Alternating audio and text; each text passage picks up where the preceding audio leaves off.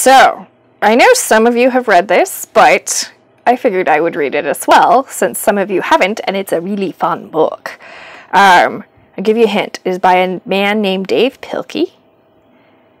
And he wrote some other really cool books, but this one is called, you guessed it, Dog Man. He also wrote those Captain Underpants books. So this um, is reading level 2.6, and it's one point. Dogman by Dave Pilkey, or Dave Pilkey. I think it's Dave. And it's the Scholastic Graphics um, publication. Here we go. So we're just going to read a little, and then I'll read a little more. So they'll be in small chunks so the files aren't too big for you guys, okay? All right, it says, for Dan, Leah, Alec, and Kyle Santat. Dogman! Behind the scenes.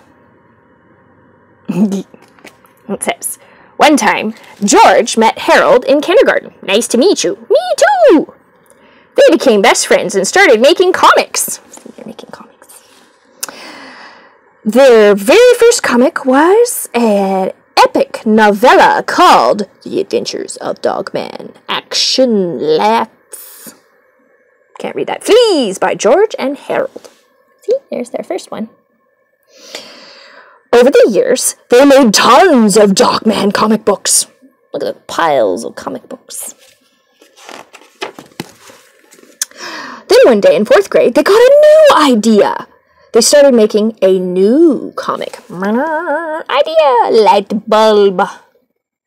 Captain Underpants. And it says by George and Harold. Soon their lives got really complicated. Oh. There was danger. Rar, toilety, trying to eat them. Horror! Zappy robot things. Zap!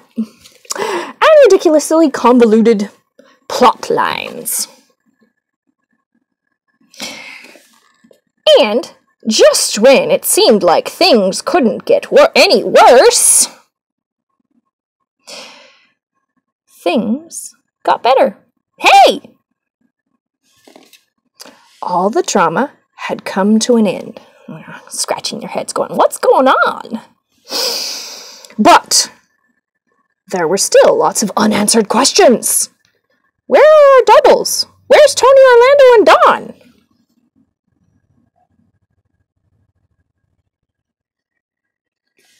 Hmm, very mysterious. George and Harold searched their treehouse for clues. See, searching for clues. But soon they got distracted. Hey, look! Aw, cool! And it's the, the dog man versus Mika Flippy. George and Harold. It's a box full of old dog man comics we made when we were kids. Hey, I forgot all about these. They read for hours. I crack me up. Look how you used to draw. Old school. And look how bad you used to spell. Oh. Do you guys think spelling is important?